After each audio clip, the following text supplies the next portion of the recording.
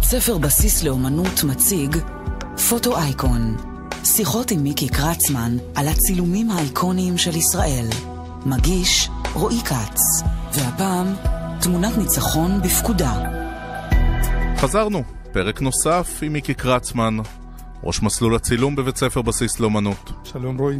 אני רוצה לפתוח נושא שהוא מאוד מאוד משמעותי עבורנו בסדרה הזו, על כך שלא נעים להגיד, אבל המון מהתמונות האיקוניות הן תמונות מבוימות.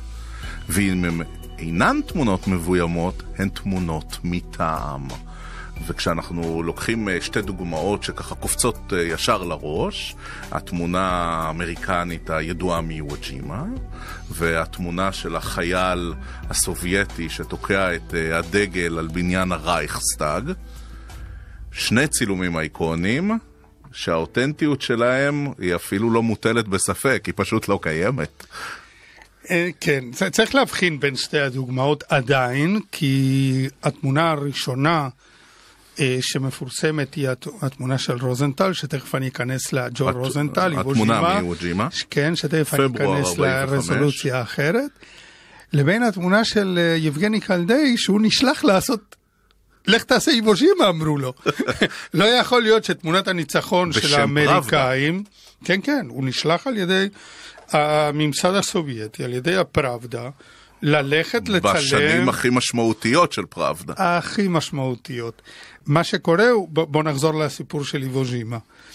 איבוז'ימה, ג'ו רוזנטל מצלם אה, בפסיפיק, באים את המלחמה, תוקעים את הדגל, עכשיו הוא לא שם. כשתוקעים את הדגל הוא לא שם. זה נעשה על גבעה. הדבר המדהים הוא שהוא עולה לגבעה באיחור, ואז יש צלם שיורד ואומר לו, תשמע, פספסת צילום. ג'ו רוזנטל עולה כשהוא יודע שהוא פספס צילום, ואז הוא אומר לו, איזה, איזה, מה קרה? הוא אומר, תקעו את הדגל על הגבעה, ו... הר סוריבצ'י. כן, יפה, ו... וזהו. עכשיו, רוזנטל ממשיך לעלות בעוד ההוא יורד, והוא מסתכל על הדגל ואומר להם, זה דגל נורא קטן, תחליף אותו בדגל גדול. ואז הוא, נכון, והם מחפשים דגל גדול יותר ומוצאים דגל גדול יותר, ועושים, חוזרים על האירוע. עכשיו, אם אתה תסתכל על שני הצילומים האלה, ההבדל ביניהם הוא לא גודל הדגל. זאת אומרת, מה שיצר את האהדה ביחס לצילום של רוזנטל הוא לא גודל הדגל. אלא שבצילום הקודם של uh, לואורי, בצילום של לואיס לואורי, מה שקורה שם זה שבעוד שבצילום של רוזנטל יש מאמץ משותף להניף את הדגל, אמיתי אגב, לא מבוים, אה, בצילום השני, בעוד שכמה חיילים מרימים את הדגל, יש חייל שעדיין מסתכל מסביב עם הנשק חצי מכוון, ובודק שאף אחד לא יירה עליהם. זאת אומרת, בעוד שהצילום של אורי הוא כאילו מתוך הקרב, הצילום של רוזנטל הוא, הוא תמונת הוא, ניצחון פר הוא כבר תמונת ניצחון ברורה. עכשיו, הדבר הזה הוא מה שהאמריקאים רצו. אגב, צילום הפטריה מהירושימה זה אותו דבר.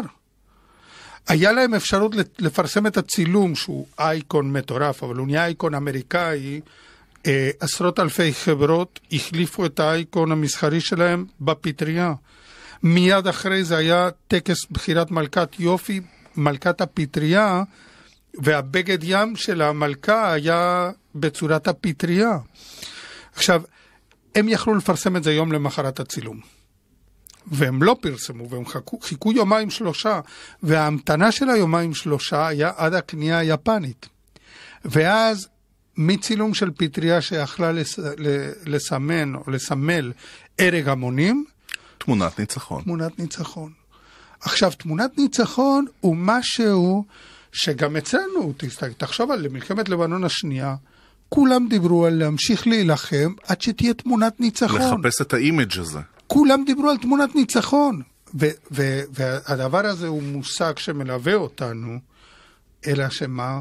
כבר אין ניצחונות כאלה מובהקים.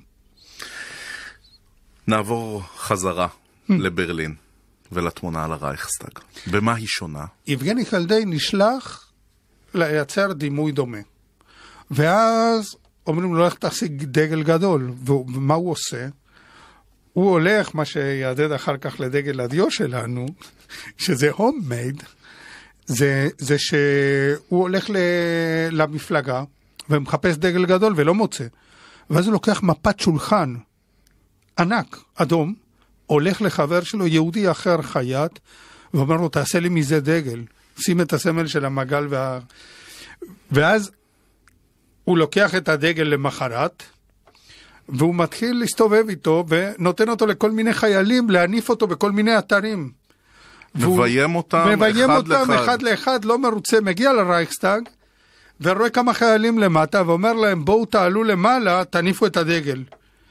ואז הם עולים למעלה, שלושה חיילים, מניפים את הדגל. אבל מתגלה בעיה קטנה. הבעיה הקטנה שכשהוא חוזר לפראבדה, העורך שלו רואה שהאיש שמניף את הדגל, יש לו שני שעונים, אחד על כל יד. כי לא רק ניצחנו את הגרמנים, גם בזזנו את ברלין. יפה מאוד. ואז הוא קורא ליבגני, ויבגני אומר אין בעיה, ובמעבדה עושה מה שהיום קוראים לו פוטושופ, עושה ריטוש, מוחק לו את אחד השעונים, זה שהכי קל, השעון ביד שמאל היה יותר קל למחוק, והנה הוא מביא את הגרסה, הוא גם עושה עוד כמה דברים, הוא מעצים את אפקט העשן ברקע, כאלה, וככה הוא בונה את, את המיתוס. אז הנה, למען uh, מאזיננו שחושבים שפוטושופ וכל מיני uh, תרגילי מניפולציות זה משהו של העידן הדיגיטלי, אז הסובייטים יכלו ללמד אתכם כמה דברים כבר בסוף מלחמת העולם השנייה. אז דיברנו על image ים של, אה, על תמונות ניצחון, וגם התמונה ברייכסטאג וגם התמונה באיוו ג'ימה, התמונות ניצחון מובהקות. אבל אה, אם אנחנו חוזרים לקאפה, או אם אנחנו נזכרים במשהו דווקא מההיסטוריה שלנו, התמונה של הילד היהודי בגטו עם הידיים מונפות בהכנעה, אלה הכי לא תמונות ניצחון שיש, ובכל זאת צילומים איקוניים. כי שם זה פונה הרבה יותר לזוועה שבמלחמה. לרגש. הרבה פחות גאווה ופטריוטיזם, הרבה יותר המשמעויות הנוראיות של המהלכים המלחמתיים האלו. זה נכון, למרות שגם פה יש אה, ניצחון מסוג אחר. והניצחון מסוג האחר, ואני אומר את זה בהיסוס גדול, הוא ההצלחה לייצר את הדימוי של הקורבן. והוא דבר לא מבוטל כשאנחנו מדברים על צילום אייקוני. הצילום האייקוני הרבה פעמים לא מחפש את הגיבור, הוא מחפש את הקורבן. אבל מי שמצלם את התמונה של הילד בגטו הוא צלם נאצי. הוא ודאי לא ביקש לייצג את הקורבן. כן, אבל יכול להיות שהצילומים האיקונים לא נוצרים על ידי הצלם, אלא על ידי מי שמשתמש בצילום. ופה יש באמת שימוש בצילום מאוחר יותר, יש להניח שהתפרסמה יותר ויותר עם השנים מתוך שימוש שמצליח לזהות את יחסי הכוח בתוך פעולה שהיא הזוועתית מכולם. זאת אומרת, אם אנחנו מדברים על הרוע האולטימטיבי, אז הנה הקורבן של הרוע האולטימטיבי, יש בדבר הזה כדי לייצר את האייקון מתוך מקום של קורבן. ראינו את זה גם אה, בווייטנאם. אין גיבורים, בווייטנאם האייקונים הם ברובם שלה נוצרו על ידי צילום של הקורבנות. האזנתם לפוטו אייקון, פודקאסט הצילום של בסיס לאומנות ותרבות.